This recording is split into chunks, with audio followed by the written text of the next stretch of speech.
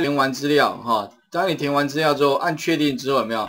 然后把它跳离，跳离之后的话，当你可以增加一个那个 activity 的那个生命周期，确定说它，我们是把这个，比如说你可以写在 on stop 或 on destroy 的时候，去把它填的资料怎么样记录在那个呃那个什么 preference 呃 preference 哈，就是里面呐，就是有个偏好设定里面，然后呢，我们按确定之后有没有就触发？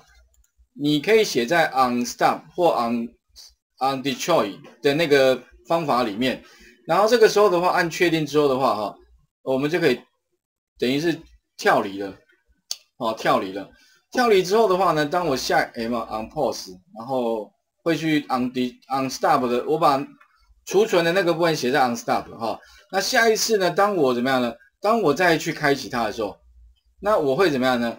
再去把之前我存的预设值有没有，把它怎么样呢？把它读进来。也就是三刚刚有三个资料，包含就是姓名、电话、地址，在 on create 的方法的时候，什么先 check 一下，哎，我有没有储存？有储存的话，那就把那三个东西放进来；如果没有的话，那就丢空字串。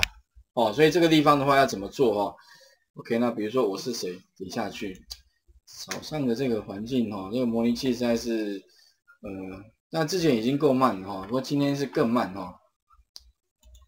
好，那大概哈就以我的意思大概是这样的哈，因为模拟器太慢了，所以 demo 的不是很流畅哦。意思大概应该知道吧哈，就是说我有三个资料，我要暂时存放在手机里面，它会存在哪里？好，有没有就带出来？那基本上哈，我顺便讲一下，就是说储存的地方哈，就是在 DDMS 里面。你其实用 DDMS 里面哈，不知道各位有没有用过 DDMS 里面相关功能？DDMS 切过来之后的话，这边有一个什么呢？这边有一个，就是你现在手机里面 run 的有没有？有点像工作管理员。目前我们 run 的是这个 GDD 零二这一个，哈，有没有？然后呢，如果你想要知道说刚刚的那个喜好设定档放哪里的话，其实你可以到哪里呢？File Explorer。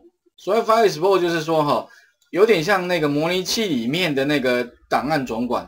那这个档案总管呢，会去搜寻你的。这个手机里面的所有一切的东西，那我们刚刚存的资料会放在 data 这边有个 data 嘛？data 目录展开来之后的话，会有一个我们看一下，在 data 的资料夹里面哈，印象中是有个 app 有没有？app 对不对？啊不，更正一下，应该是这个 app 是放什么？放那个我们的 apk apk 档的。好，所以将来如果你要安装，有没有？之前有同学在网络上有问我，说老师要怎么样安装 App APK 档到模拟器里面？其实很简单，就是点开 APP 有没有？然后上面不是有一个箭头传送 APK 到手机，你就传送到这个资料夹，它就会自动帮你装起来了。所以有一些如果你有外部啊网络上抓到 APK 档你要装在模拟器里面装的话，可以用这种方式啊。那我们的 data 在 data 里面还有个 data 资料夹。data 资料夹里面的话，哈，其实你在你的手机里面一样会有这个 data 资料夹，一样的哦，只是说这个是模拟器，在你的手机里面一样会有个 data 的资料夹，里面还有个 data 资料夹。那 data 资料夹里面的话，哈，还会有一个就是说你的手机的那个呃 app 的名称，有这个，